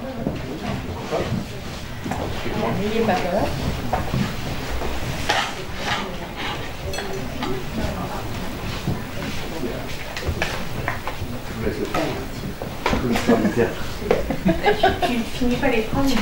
Allez, on Et après, tu fais en Parce que les pauvres, depuis hier, ils entendent une histoire du théâtre, toujours la même pièce. Vous voulez qu'elle change de pièce aussi Vous entendez la même chose Non, mais tu racontes des choses nouvelles. Ah oui, c'est vrai. Oui, c'est vrai qu'à chaque fois. Il va falloir que je trouve autre chose. Hein. Tout le monde est là à peu près Avancez encore, il y a plein de places. Messieurs, dames, avancez par ici. S'il vous plaît.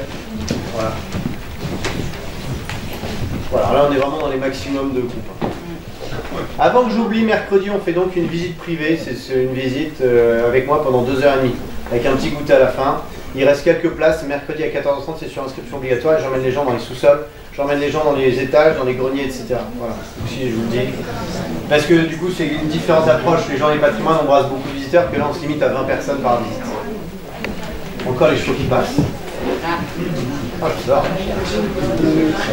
Alors, donc pour revenir à l'histoire de cette pièce, je vous ai parlé donc des différents salons d'à côté. Vous avez pu voir qu'à côté c'était donc ouvert, là c'est fermé, puisqu'on est sorti du château du XVIe siècle. Le dernier bout du XVIe se trouve derrière moi.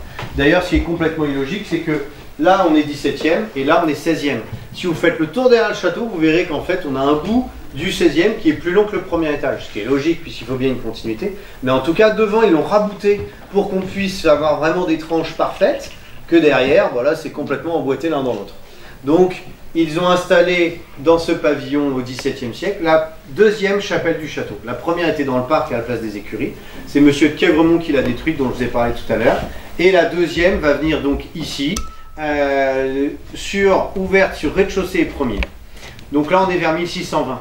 Vous vous rappelez, au bout du château, il y a la maison du chapelain, il y a la sacristie, et là, nous avons donc la chapelle. Ça, c'est la configuration entre 1620 et...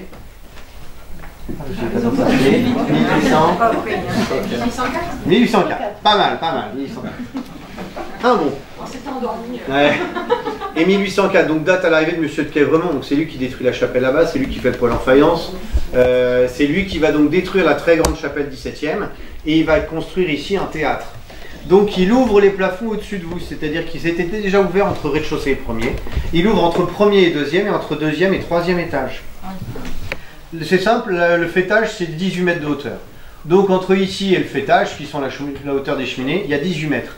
Il installe une mezzanine au deux, troisième étage pour euh, abriter et recevoir les décors. Il y a des poulies qui permettaient de monter et descendre les décors de théâtre qui étaient changés et modifiés à chaque pièce qui allait y être jouée. Il y avait aussi dans cette partie sous comble, il y avait les machineries qui permettaient de faire les bruitages de l'eau, la pluie, euh, non, la tempête, le vent. Ouais, non, c'est tout. Et, euh, et, et, du coup, la charpente là-haut est donc euh, sculptée, peinte en bleu. Il y avait des papiers peints pour laisser penser aux gens qu'il y avait probablement un ciel nuageux au-dessus et que c'était ouvert. Tout ceci était en trompe-l'œil. Sauf que le théâtre est fait de papier, carton, tissu. Et donc de 1804, peut-être 1810, hein, le début de la construction du théâtre, et 1920, eh bien, la pièce a dû fortement se dégrader.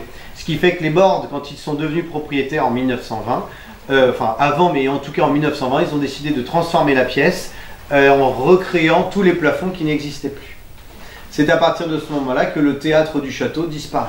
Il reste encore une partie des machineries sous les combles. Ils installent au premier étage la plus belle pièce du château, qui est le salon Régence, qui est sur la partie plafond plâtré. Et sur le plafond peint ici, au-dessus, on a deux espèces de, de petits boudoirs avec des papiers peints du 18e qui sont tout à fait remarquables. Ce sont des éléments anciens, donc d'époque Régence et 18e. Euh, la Régence, c'est tout début 18e. Qu'ils réinstallent ici, euh, dans un espace nouveau. Tout comme cet espace scénique dans lequel nous nous trouvons est un réaménagement du XXe siècle. Parce que le plafond au-dessus de moi est Louis XIII, c'est fin 17e. Donc c'est tout à fait Louis XIII, Louis XIV en transition. C'est tout à fait euh, les modes de l'époque avec des plafonds, vous voyez, je vous parlais tout à l'heure de choses très sombres, beaucoup plus austères. Les boiseries à l'époque, si il y en a, elles sont en bois naturel, sauf que celles-ci sont 20e. Elles ont reçu les peintures au-dessus. Elles reçoivent les colonnes aussi qui sont 18e. Le garde-corps qui est 18e. Et elles devaient accueillir, je suppose, de très belles tapisseries en 1920-1930. Les propriétaires à cette époque-là ont voulu faire disparaître complètement le théâtre. Et nous, bêtement, quand on est arrivé, on s'est dit que c'était le théâtre du château. Ce n'est que bien plus tard qu'on s'est aperçu que ce n'était pas du tout le théâtre d'origine. Et c'est là qu'on a donné le nom à cette pièce. On l'a conservé parce qu'il est important de, se souvenir de cet espace et surtout ça nous permet de présenter quelques décors du théâtre qui donc étaient stockés dans les écuries du château. Une fois stocké là-bas, le bâtiment a été abandonné, il y a eu des fuites d'eau très importantes, donc une très grande partie des décors est malheureusement perdue à jamais. Ceux que vous avez là sont du 18e, fin 18e, et représentent des ruines gréco-romaines sur papier cartonné. Et derrière moi, vous avez une toile 19e qui est un, travail pas très beau, que j'appelle la Cruz, puisque c'est un travail grossier. Alors après, souvent les décors de date ne sont pas toujours très soignés, hein. donc celui-ci en est bien le cas. Ça, c'est peut-être 1850-1880. Euh, le problème qu'il y a eu, c'est que, alors tout, vous voyez, quand je l'ai découvert, c'était un rouleau hein, dans les écuries, et tout le haut avait complètement pourri à cause de l'humidité. Et euh, au dos, quand on l'a retourné, en fait, on s'est aperçu qu'il y avait des décors du 18e. Ah, Ils ont, ils ont employé le tissu pour repeindre par-dessus. Donc là, c'est une qualité tout autre. hein. C'est ce qu'on a au plafond. hein. C'est la même qualité. ah, Donc on doit refaire cette pièce cet hiver parce que les peintures sont très mal faites, parce que les décors sont à changer, à exposer euh, mieux. Il faut qu'on refasse tous les encadrements. Voilà, on devrait faire une très belle pièce. Euh, Jusqu'alors, j'ai dit, on a été consacré plutôt à des travaux d'urgence. Et là, euh, on a des peintures qui sont très abîmées à cause des problèmes d'humidité, donc il va falloir qu'on intervienne. Ça va être l'occasion de refaire la pièce complète. Il serait impensable de refaire un demi-panneau et puis de pas refaire le reste. Voilà, donc, euh, voilà. Nous, tout quoi qu'on fasse au château, il faut qu'on mette euh, la qualité, la quantité, parce que euh, on peut pas se permettre de refaire un truc qui va durer 10-15 ans. Non, on est, on est reparti pour euh, plusieurs siècles. Quand parfois les gens nous disent ah, vous terminez d'un côté, vous terminez. Non. On est compris? Vous terminez d'un côté, vous recommencez de l'autre. Non, c'est c'est faux. Pour l'entretien des espaces verts, oui. Alors là, toute la partie printemps, fin mai, juin, c'est infernal. Parce que là, oui, on ne fait que ça en continu. Par contre, sur les travaux qu'on fait, non. Tout ce qui est maçonnerie, couverture, charpente, les charpentes qu'on a reprises sur la maison du Chaplin, euh, tout a été retaillé dans du chêne à la hache comme à l'origine. S'il n'y a pas de dégâts d'eau, ça repart pour euh, 500, 600 ans. Euh, les maçonneries, pareil, les changements de pierre, on a repris de la pierre de Vallée de Seine, c'est de la pierre locale, extrait dans des très bons lits de, pierre, donc ça repart pour euh, 500 ans, 1000 ans, on ne sait pas. voyez? Bon, après, les travaux de peinture sur les menuiseries extérieures, c'est un autre sujet. Les travaux de toiture, pareil, une toiture en ardoise, c'est 70-80 ans. Nous, elle commence à être mûre. Et là, va se poser des problèmes de budget. Parce que le budget d'une euh, d'une toiture comme ceci, c'est presque le prix d'achat du château. voyez. Donc là, c'est des problèmes que nous-mêmes, nous n'arrivons pas à financer. Voilà. C'est des aides, vous avez des aides Comment ça se... Oui, on a quelques aides, mais c'est compliqué parce qu'on est dans un département où malheureusement, le conseil général et départemental n'aident pas les propriétaires privés de monuments historiques. Vous faites 200 km, en effet, vous tombez dans d'autres régions et d'autres politiques qui aident les propriétaires privés. Tout dépend de l'intérêt du président pour le patrimoine, vous voyez, ou de ses acolytes. Donc c'est triste, mais ça se passe comme ça. Et en effet, en- les monuments historiques nous donnent 20%. Le gîte dont je vous ai parlé tout à l'heure, la maison du Chaplin, c'est 350 000 euros pour 150 mètres carrés. C'est pas une construction, hein, c'est juste une restauration. Donc là-dessus, on a eu, euh, il y a 220 000 euros pris en compte par les monuments historiques parce qu'il est logique qu'ils ne prennent pas en compte l'électricité, la plomberie, l'isolation, tout ça, ça les intéresse pas et c'est normal. C'est pas un monument historique. Ils s'intéressent aux maçonneries, couvertures, charpentes, euh, les sols, etc. Et là, en effet, sur 220 000, ben, on a eu 44 000 euros. Sauf que si vous envoyez l'enveloppe l'enveloppe complète de 350, il reste 310 000 à notre charge. Sur ces 310 000, qui est une charge énorme, on a repris un crédit. hein, euh, on a eu 15 000 euros d'Américains. On a concouru à un prix qui est fait par une, so- une association américaine qui s'appelle la French Heritage Society. Et on a eu la chance d'être sélectionné. Donc on a euh, la délégation d'Atlanta qui nous a donné 15 000 dollars. On les a jamais vus, mais ils ont sélectionné. C'est génial. Voilà, on les remercie. Enfin, c'est amusant quand même de dire ça. Et il faut pas oublier, on a beau dire les Américains, les burgers, le coca, non. Euh, je défends fermement les Américains parce que si aujourd'hui on a un beau patrimoine en France et si Versailles est aussi clinquant que ça, c'est grâce aux Américains. Donc on a beau dire ce qu'on veut. Oui, il y a toute une, partie de la population qui est très floue, qui comme on a la même chose en France. Il y a toute une partie qui est très érudite passionnée de patrimoine. Donc non, il faut vraiment... euh, voilà. Donc faut pas l'oublier. Donc vous voyez, à leur, petit niveau, pardon, plutôt à mon petit niveau à moi, on a quand même été soutenu par les Américains. Et après, on a eu pareil l'Europe, on dit l'Europe, l'Europe, l'Europe, au sud c'est le premier à dire ça. Non, on a une aide aussi financière importante de l'Europe pour revi- revitaliser euh, les zones rurales comme on a dans la région. Voilà. Donc ce qui nous a permis de créer un hébergement à gîte qu'on met à la location dans la maison de Chapin. Voilà, mais voyez, bon, c'est qu'une aide du château qui a été refaite, mais là pour le coup en totalité, il n'y a plus rien à faire, on a mis le paquet, ça nous a pris trois ans.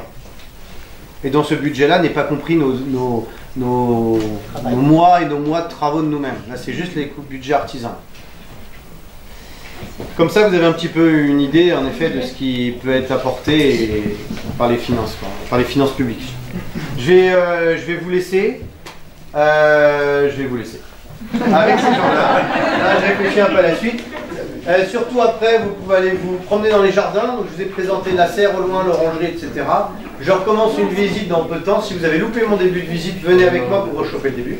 Sinon, je vous laisse avec ces charmantes personnes qui vont vous. rela- Ce sont des passionnés donc d'époque euh, de l'Empire, hein, même comme les cavaliers qui, qui courent là-bas. C'est vraiment très. Euh, qui vont vous relater un petit peu les mœurs euh, de l'époque et surtout euh, les tenues d'apparat des femmes, les bijoux. Et voilà, ce sont des gens passionnés, euh, passionnés et très intéressés par cette période. Donc si vous avez des questions, n'hésitez pas, et moi je ressens. Merci à tout à l'heure. Ici, dans cette pièce, on va évoquer surtout l'art, la mode. Euh, en quittant la Révolution française, euh, eh bien, beaucoup de choses s'assombrissent également. Et on va attendre le Premier Empire pour resquisser d'avoir un renouveau du luxe, et de l'industrie française. À travers le XVIIe siècle, avec Louis XIV, euh, on a imposé en France un certain standing concernant les textiles, l'art et la mode, puisque en France, on faisait tout. Vous avez pu voir, hein, voilà, on est dans un château qui est l'exemple même de l'art français. Eh bien, à travers le vêtement, on fait également de même. La Révolution française va mettre un coup, un frein à tout cela. Et sous l'impulsion de Napoléon Ier, on va vouloir relancer l'industrie du luxe. Donc à travers le vêtement, essentiellement.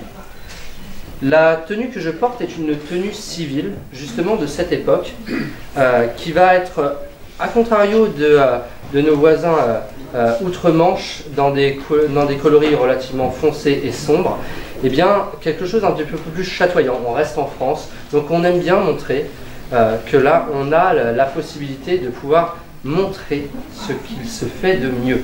Donc on va pouvoir avoir des, vêtements brodés, des tisseries et également avec, euh, avec les ports et, euh, et maritime de très belles, de très belles soieries et autres, euh, autres colifichets. La tenue masculine va également très peu changer puisque les grands archétypes de la tenue qu'on- porte, que les hommes portent aujourd'hui, euh, jusqu'encore très peu, puisque la mode évolue et continue d'évoluer, eh bien, ne va pas vraiment bouger depuis le 19e siècle. Le début du 19e siècle, avec la Révolution française, on a l'assimilation de la culotte qui se transforme en pantalon. La culotte était un, un destiné à la noblesse. Avec la Révolution française, on passe au pantalon. Le gilet, pour les, les vêtements d'apparat, qui, euh, s'accompagne et que l'on veut à tout prix montrer, puisqu'on le brode. Euh, après, vous verrez également, euh, on peut faire de très belles pièces d'orfèvrerie, donc avec des boutons qui sont, euh, qui sont de véritables bijoux que l'on va mettre sur le vêtement. C'est un petit peu un retour à une époque où, à l'époque de Louis XIV, on mettait carrément des pierreries et des pierres précieuses sur les vêtements. Et bien là, on va plutôt les faire en parcimonie dans, dans une industrie de luxe qui pousse l'excellence, si vous voulez. Vas-y, continue, continue. On illustre. là. L'une des parties importantes aussi également, qui ne va pas changer pendant la première partie du 19e siècle, c'est surtout euh, les sous-vêtements. On reste toujours sur la même base, euh, il n'y a pas de caleçon ni de slip.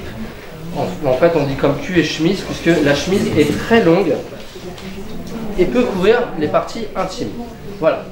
C'est l'apanage, du moins, de l'habit euh, jusqu'au milieu du 19e siècle.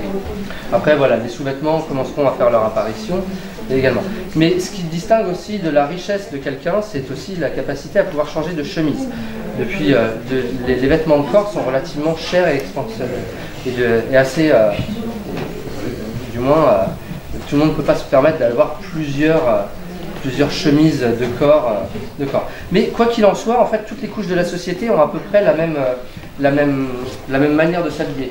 Puisque aussi, avec la Révolution française, on va démocratiser un petit peu justement euh, l'habit, puisqu'on brise les codes des matériaux qui euh, étaient, euh, étaient bien répartis dans la société, puisque certaines, les soies, les, euh, les velours étaient euh, vraiment codifiés à l'Ancien Régime. Avec la Révolution française, on va démocratiser justement. euh, et donc toutes les couches de la société vont pouvoir suivre la mode, Ma- malgré tout, les, sim- simplement les, euh, les matériaux seront un peu plus différents. Mais voilà, jusque dans les années 20-30, euh, euh, jusqu'à vraiment l'expansion de, la mode à petit prix, si, on peut dire, et justement le, vêtement pas cher, eh bien chacun avait un tailleur, qu'importe les couches de la société. Vous avez peut-être connu vos grands-pères aller même chez le tailleur, avoir toujours des, vêtements impeccables et surtout taillés sur mesure. Et bien là, on est toujours dans la même configuration. Et maintenant, je vais laisser la parole pour les dames. féminine. Très bien. Alors, euh, là, nous portons, euh, mon ami et moi, deux robes donc, de style empire, mais de périodes totalement différentes. Moi, je suis directoire, donc euh, juste avant le, le- le couronnement aussi de Napoléon.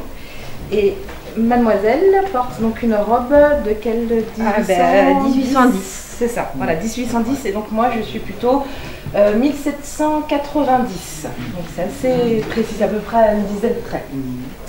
Donc là, ce que vous pouvez voir, donc c'est un petit côté quand même, on va dire, euh, d'inspiration romaine.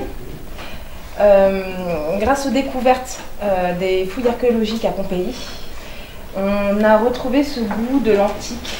Donc c'est pour ça que vous pouvez voir des fois dans, le style empire, premier, empire, euh, donc du coup des, des- robes assez euh, comment dire, cintrées sous la poitrine et plus au niveau de la taille, comme à l'époque de Marie-Antoinette qui était assez conique, voulait vraiment montrer la taille avec une poitrine écrasée qui remontait, c'était assez guindé. Là on revient un petit peu au naturel. euh, aux choses plus, plus fluides, voilà, qu'on puisse euh, voyager plus facilement, euh, revenir au naturel, voilà, vraiment aux choses, aux choses de la vie simple, voilà, des gentlemen farmers, voilà, c'est un petit peu cette période-là où euh, on revient à la nature, on se poudre plus les cheveux, on se maquille plus avec euh, du, blanc de céruse, c'est vraiment, on laisse, la nature, euh, voilà, c'est revenir au- naturel. C'est ce qui compte le plus. Donc aussi au mouvement euh, large et assez aisé pour les femmes. Euh, donc là vous avez vu donc deux styles assez différents. Donc moi ici c'est que des fronces partout, tout autour de la taille. Et mon amie, elle, elle va avoir des fronces ici au niveau de la poitrine pour que ça fasse aussi un joli arrondi et mettre euh, la poitrine en valeur. Mais à la différence, c'est que ça va être lissé. Donc il va y avoir des petites différences, voilà, et même au dos, voilà. Seulement froncé au milieu et le reste ça reste assez lisse. Alors donc il va y avoir des petites spécificités, même si pour l'œil, euh, pour l'œil euh, de gens qui ne sont pas forcément exercés euh, à cette mode empire, vous n'allez peut-être pas forcément voir la différence, mais voilà, donc elle va avoir un, un décolleté assez, on va dire, carré, un petit peu arrondi. Bah, à l'époque, moi du coup, directoire, ça va être peut-être un petit peu caché, même des fois assez découvert. Mais la spécificité de ces robes-là, de- cette époque-là, c'est qu'elles étaient très transparentes. Voilà. Les femmes portaient des tenues, des combinaisons tricotées à la main, de couleur chair, avec un, un coton euh, très léger, qui laissait pas place à l'imagination. voilà, donc on pouvait porter aussi sans, euh, sans jupon, sans rien. Euh, c'était euh, c'était très, très osé, hein, vraiment. C'est la folie du directoire. On est post-révolution. On se, on se, On se libère, soigne voilà, de tous voilà, la traumatismes de la Révolution. et la mode en fait malheureusement va partir un peu dans tous les sens et donc euh, bah, c'est le moment où on commence aussi les sorties donc on va se promener pour se montrer l'après-midi et donc euh, dans les parcs parisiens bah, on voit ces femmes euh, quasiment nues se promener et donc il y a eu beaucoup de problèmes avec la police notamment parce que c'était vraiment des attentats à la pudeur et Napoléon va remettre de l'ordre dans tout ça avec la mode parce que pour lui c'était absolument insupportable. Mais c'était scandaleux. Elle portait pas de corset. Alors il y avait des brassières, voilà. euh, sinon elles pouvaient porter des corsets, mais elles le portaient en dessous de leur combinaison, même des fois elles le portaient pas du tout. Ah, oui, pour les merveilleuses, oui, il n'y avait pas de Ah, il n'y avait pas de corset du tout, parce que c'était tellement transparent qu'on pouvait euh, voir le moindre détail. Euh, même pour certaines euh, qui portaient des combinaisons du coup tricotées, elles mettaient des postiches au niveau de la foufoune pour faire croire qu'elles étaient toutes nues, et puis elles se tamponnaient aussi du rose au, au niveau des tétons pour faire croire qu'elles étaient euh, nues en dessous. Oui, c'était très Ah oui, c'est très osé cette mode-là. Très osé, oui. Et c'était une telle mode euh, que certaines jeunes filles ont pu même mourir en fait de cette mode parce qu'elles désiraient porter des, te- des- des tissus tellement légers qui pleuvent, qui neigent, qui ventent. Euh, elles attrapaient des rhumes bah, mortels et il y en a malheureusement plusieurs jeunes filles qui sont mortes euh, dû, dû à, dû à la mode. Voilà. La mode C'est- c'est- La mode. Voilà. Euh, donc, alors là, on va vous présenter une vraie robe d'époque. Voilà, parce que nous, on les fabrique nous-mêmes, on les fait nous-mêmes. Sinon, celle-là, c'est une, donc une robe, euh, une robe euh, empire, même, même, un- même un petit peu avant. Oui, elle est entre le consulat et l'Empire. Donc la, le- la spécificité de cette robe, oui, c'est qu'on est vraiment entre ces deux périodes. Donc vraiment euh, entre nos deux Elle robes. serait entre nous. Voilà. Niveau Donc, temps. puisque au niveau du col, on commence à avoir quelque chose de plus carré, mais en même temps, sur le devant, on a encore de petites fronces. Donc, on est vraiment dans l'évolution. Donc, c'est une robe en soie très particulière, puisque c'est une soie à motif, et ça, on retrouve très peu. Euh, la conservatrice qui l'a euh, qui l'a examinée pense que c'est une robe italienne, et c'est une robe de bal. Mais un bal où on ne va pas danser, puisque la robe descend jusqu'au pied et on a une traîne. Donc on y va pour parader, on y va pour voir ses amis, mais en mettant ce genre de robe, les hommes savent qu'ils ne peuvent pas vous inviter à danser parce que de toute façon vous refuserez. Voilà. Donc là, on va vous faire un petit déshabillage. Hein. Donc pour vous montrer un petit peu la mécanique euh, du, du- du vêtement de, de- de l'époque. Donc euh, là, je porte une robe directoire, donc avec des manches euh, assez droites. Là, vous n'allez pas retrouver donc du coup les manches bouffantes comme on peut voir sur certains tableaux euh, du Premier Empire. Donc ça va être assez près du corps. Là, vous allez pouvoir retrouver du coup le dos toujours pareil assez euh, assez haut et donc tout froncé tout autour. La, spécificité de cette robe-là, c'est qu'il va y avoir que des, des coulisses que sur le devant. Là.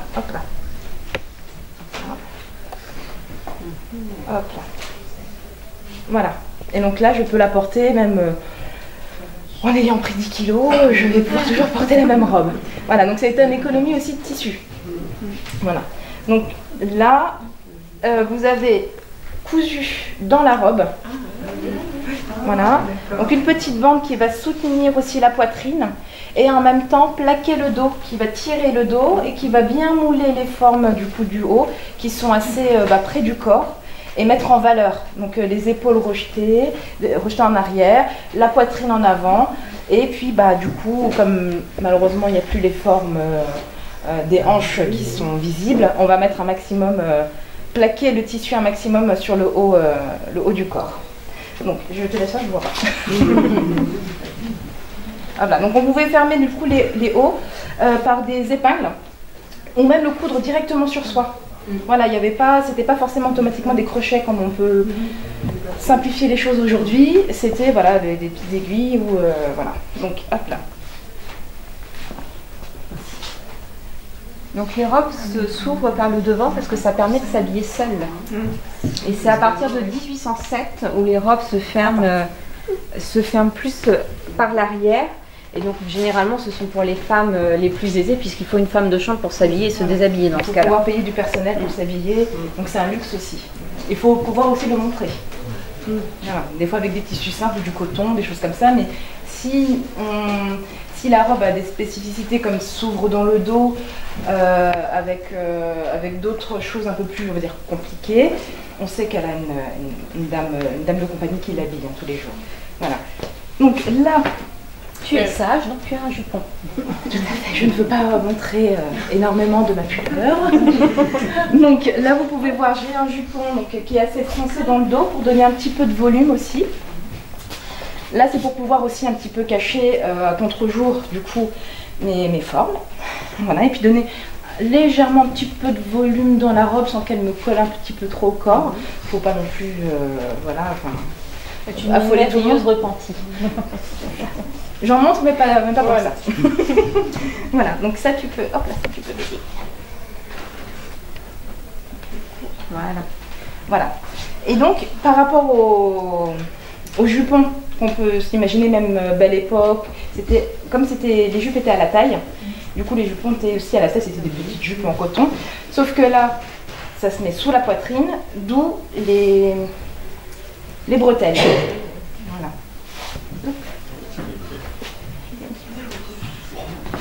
Hop là. Merci. On n'enlève pas le corset, je vous rassure. Donc là, vous me voyez en petite tenue. Donc là, ça c'est pour. euh, donc ça c'est en coton, c'est la chemise de corps. C'est celle qu'on va changer le plus souvent. Parce que c'est celle qui est en contact directement avec la peau. Donc, euh, comme on lave pas, euh, presque pas le costume, on va nettoyer le- le- la chemise de coton qui est directement en contact de la transpiration. Euh, le corset, on va pouvoir le changer, tout dépend euh, de, de l'activité de la journée. Donc celui-là, il n'est pas trop baleiné, Donc ça, avec ça, je vais pouvoir bouger, faire des activités en plein air. Euh, D'autres vont pouvoir porter juste un corselet. Donc c'est vraiment une- comme une brassière. Voilà. Ça s'arrête là. Voilà, ça s'arrête voilà, juste un petit peu en dessous de la poitrine pour quand même donner la forme un petit peu pigeonnant. Voilà, c'est plus du tout la mode du 18e siècle où la poitrine est écrasée et remontée. Non, là c'est euh, on revient un petit peu à la mode naturelle. Voilà, c'est l'idée qu'on se fait d'une jolie poitrine de femme euh, avec une taille peut-être un petit peu fine et puis euh, voilà, il faut que ça soit une petite nymphe. Voilà, dans la nature. voilà. Et il y a le bas. Le bas, après, il pouvait y avoir des bas de d'autres couleurs. Là, on n'est plus vraiment dans, les, dans le blanc du 18e siècle. Euh, et vous pouvez retrouver du coup Mademoiselle à la jarretières. Je vais vous les montrer. Elles pouvaient être brodées avec des petites inscriptions, soit très sages, très pieuses, Comme ou très coquines. voilà. Tout, tout dépendait à qui c'était destiné. Celles-là, elles sont sages, elles sont pour l'empereur. Ah Coquine. C'est les mots du premier billet qu'il a envoyé à Marie Walewska.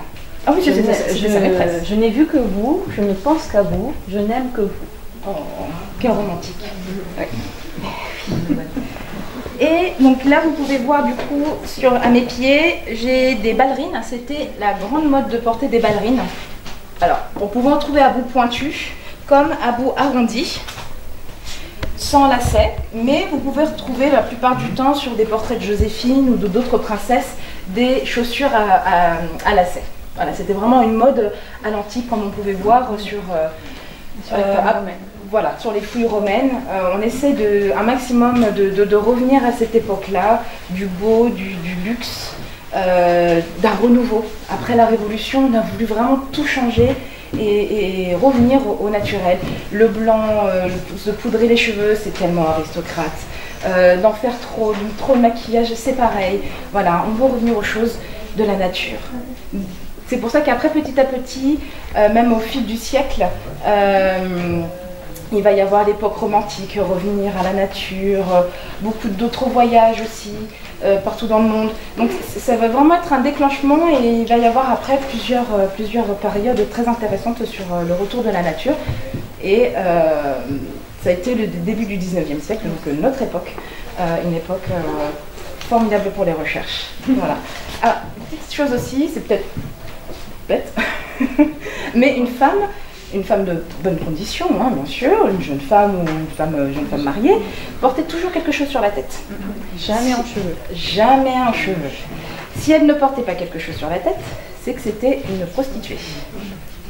Voilà. Donc, pendant les balles, elle pouvait ne pas porter forcément de fichu ou un petit bandeau comme ça, mais ne serait-ce qu'une plume. Même ça se faisait au XVIIIe siècle. Une plume, des petits bouquets de fleurs, mais il fallait qu'elle ait quelque chose sur la tête pour dire qu'elle était de bonne famille et qu'elle avait quand même, euh, pas un petit vol de pudeur, mais Non, si, on, oui, on pourrait dire ça aussi, voilà. Une respectabilité. Oui, voilà, c'est ça, tout à fait. voilà. Et donc là, ce que vous pouvez voir aussi, juste à côté, je ne sais pas si tout le monde aura la place de voir, mais vous pouvez tourner. Euh, mon amie a fait des reproductions de bijoux d'époque. Et elle va vous expliquer un petit peu la spécificité de certains bijoux. Là, on vous a ramené euh, des bijoux phares de l'époque.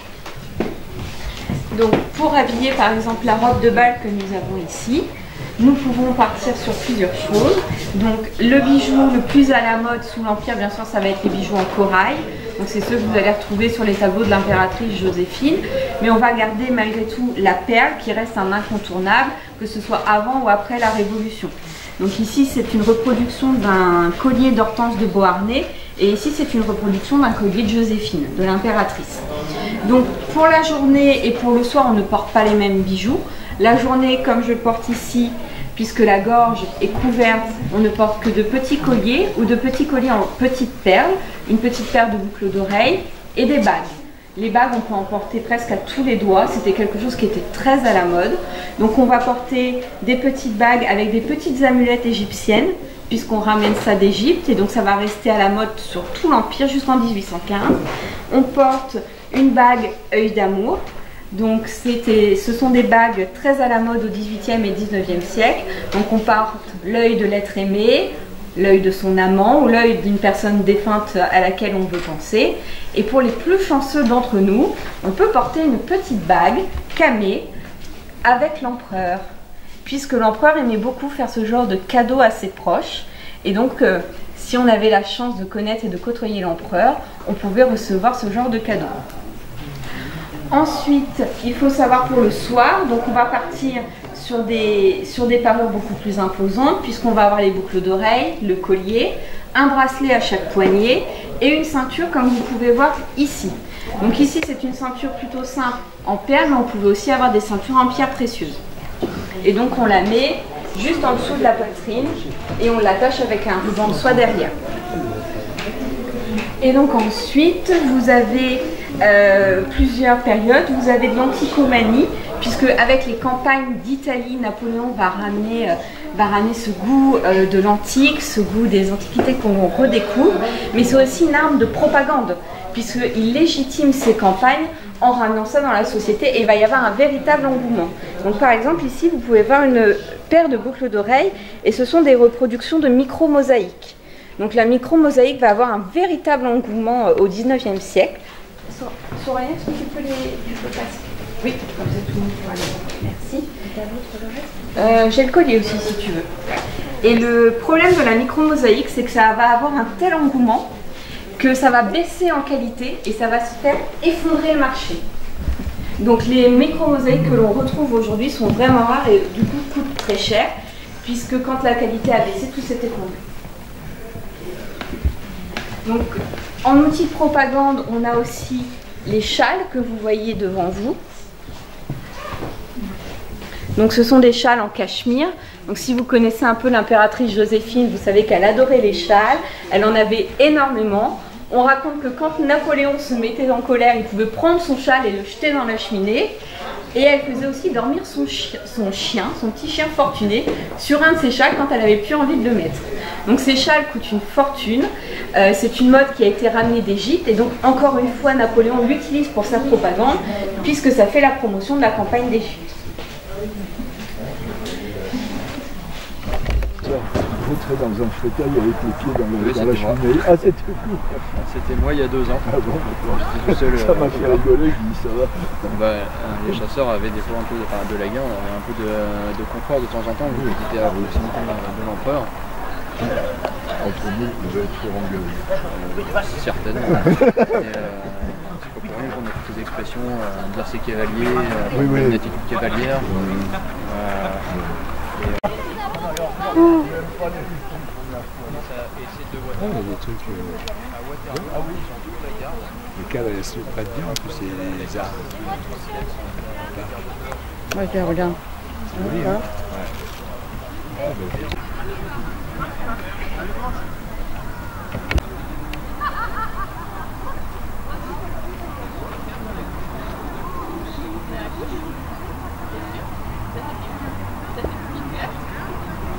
Une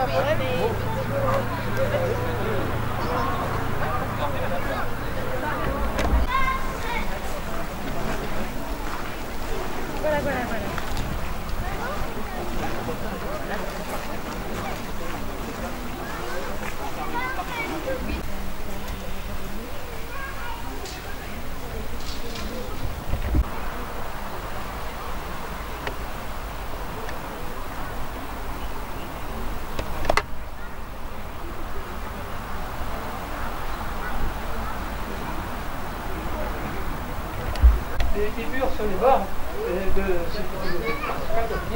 Il a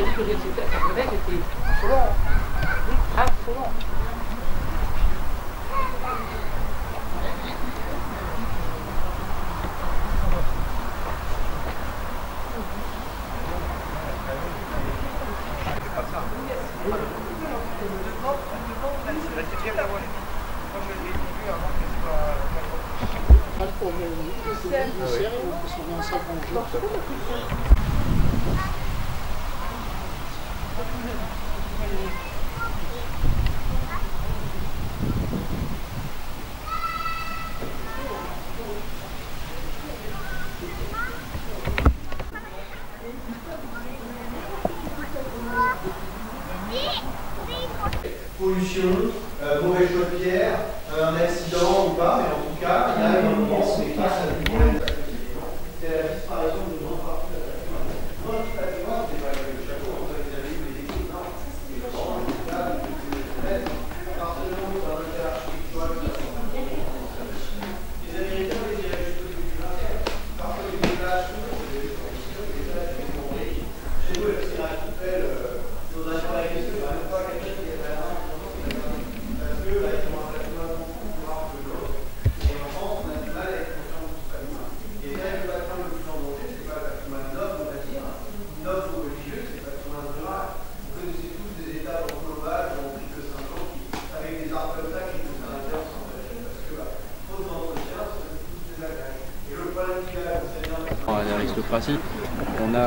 la longévité d'un cavalier, c'est la force dans son avant-bras. Il faut retenir l'arme. Voyez, donc euh, tous les mouvements, un bon, un escrimeur à l'époque, euh, c'est une personne qui va ménager ses mouvements, qui pour un mouvement à un autre, en fait, va faire le moins de mouvements et autour du centre de gravité de l'arme. Si je suis là, je ne vais pas repartir de l'autre côté, redonner des coups comme ça, faire des allers-retours. Je fais un coup comme ça, il faudrait que je retrouve un moment pour repartir comme ça, mais tourner autour du centre de gravité. Et donc, vous voyez, si je fais une parade en deux mouvements, que je chasse et que je suis comme ça et que le cavalier me dépasse, il me suffit de retomber mon sabre sur l'épaule et de lui percer le, le dos ou la, la gorge quand il sera à l'arrière et qu'il essaiera de se protéger des premières lignes, enfin des, des lignes qui, qui suivent pardon, euh, dans nos rangs à nous. Vous voyez, c'est- c'est c'est pas un... Voilà. Donc on peut, euh, dans les mouvements, euh, par exemple, venir chasser. Alors toutes les parades se font exclusivement sur le dos de l'arme pour préserver le tranchant justement du, sabre. Parce que là, la, planche à comme ça, euh, c'est rien. hein, là, c'est fini, hein, il n'y a plus de combat. hein, ça accroche dans toutes les fibres, on ne coupe plus rien du tout. Donc toutes les parades sont exclusivement avec le dos de l'arme. Vous voyez, il va y avoir des, des mouvements assez simples. Par exemple, au premier cas, je viens chasser l'arme. Ensuite, on va faire un mouvement, un mouvement d'attaque. On va essayer de, de donner un coup d'une manière ou d'une autre suivant ce qui se passe. Et le troisième mouvement, par exemple, protéger mon dos du cavalier que j'ai dépassé pour pas justement qu'il me fasse une cravate française tandis qu'il me dépasse. si moi je donne l'attaque, je vais pouvoir aller chercher en estoc, loin devant le cheval. Ça c'est une chose. A un cheval qui est blessé, si on a un- cavalier d'à côté n'est pas botte à botte, on laisse un interstice, c'est un autre cavalier qui passe. Si un cavalier passe, lui aussi a un sabre. Et son sabre, lui, va chercher à nous faire du mal. Donc il ne faut pas qu'on laisse passer un cavalier. Mais un cavalier sait euh, ce qu'un cheval fait. S'il reçoit une attaque et qu'il a une lance, il va viser le, chanfrein du cheval. Un cheval qui est blessé va s'y arrêter immédiatement et créer un interstice immédiat. Donc, on peut charger en protégeant le chanfrein du cheval. Justement, en première ligne. Et récupérer éventuellement une arme si on essaie de nous attaquer.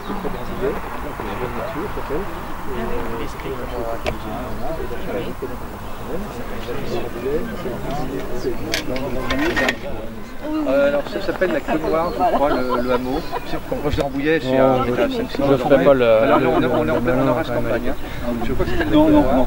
À l'époque, De euh, la façon que vous en parlez, s'imaginer comment on pas devait être costaud. Alors dans, dans- dans beaucoup de films, on, on voit, enfin, souvent il y, a, il y a des erreurs historiques, hein, c'est- le propre du cinéma, mais on voit dans, dans certains vieux films. Alors, par exemple, l'erreur la plus commune, c'est de voir des charges de cavalerie euh, sur des kilomètres au galop. Ça c'est euh, inexact à 200%. Euh, les chevaux au galop se, se tiennent pas. C'est très dur de, les tenir euh, en ligne parce qu'ils ont envie de faire la course, qu'ils se défoulent. Et quand bien même on arrivera à les tenir, au bout d'un kilomètre, les chevaux sont rincés, ils n'ont plus rien. Et c'est fini pour la bataille. Ils vont arriver au pas dans les lignes ennemies. euh, c'est- n'importe quoi. Donc, euh, une charge de cavalerie à l'époque, imaginez sous la mitraille à Waterloo, c'est la traversée du champ de bataille au pas au pas, au botte à botte, à subir les tirs de l'infanterie qui, eux, ont une très belle cible qui passe à la parade devant eux. Et dès qu'on est en face de l'unité du groupe à charger, c'est à 70 mètres, 50 mètres qu'on va déclencher le trot. Donc là, c'est tout le monde au trot. On commence à augmenter l'allure, mais on est déjà à portée de mousquet de ce qu'on attaque.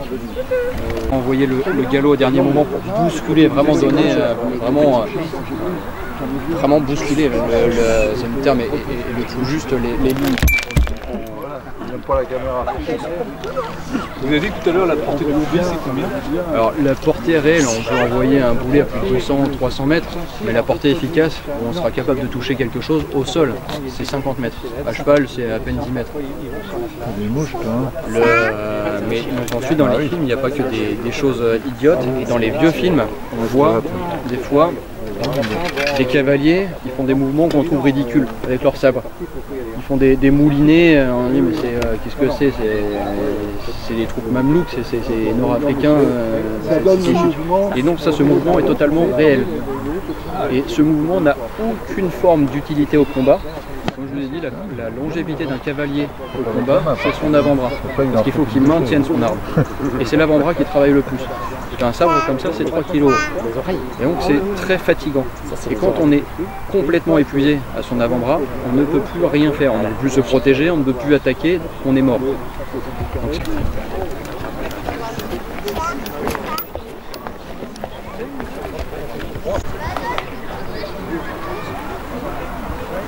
Ça pèse combien Bah allez-y. C'est pour la télé C'est pas trop lourd, mais ça, va- Ça fait prend 2 quoi kilos, 2 kilos. Environ 2 kilos. Et, euh, Et là, c'est du poil pour ça Ouais, c'est la peau d'ours, ouais. Alors ça paraît pas lourd, sauf que quand on le porte sur la Bah, tête euh, oui. 12 heures euh, par jour à cheval, Ouais. bah, au bout d'un moment, euh, on a la nuque un peu, Ah, bah, pèse, un peu ouais. fatiguée. Et la plume C'est de, de la plume de coq teinte. De la plume de coq. Donc vert parce qu'on est chasseur à cheval. Et rouge, c'est toutes les unités d'élite de la garde impériale et compagnies d'élite des régiments qui portaient du rouge. En fait, ça permet de, sur le champ de bataille de savoir à quelle unité vous appartenez. Pareil, vous voyez sur les, des pointes de, de la Chabrac, il y a des aigles. Et ça, les aigles, ça, euh, de la garde impériale. Sinon, il y a un numéro de régiment. Là, c'est pareil pour lui? La, voilà, la, la sabretage, c'est pareil. Comme il y a un aigle, c'est un, une sabretage de la garde impériale. La sabretage, c'est le porte-document en fait. La même chose sur la ouais. La même chose sur la Chabrac. Ici, normalement, j'aurais un numéro de régiment, mais là, j'ai un aigle. Donc garde impériale. Pareil, sur la, la giverne, un aigle, donc garde impériale. Sinon, il y a le numéro du régiment sur la, la giverne. Et les uniformes, vous les avez comment on les fait faire par des couturières spécialisées qui sont capables de refaire les uniformes. Euh,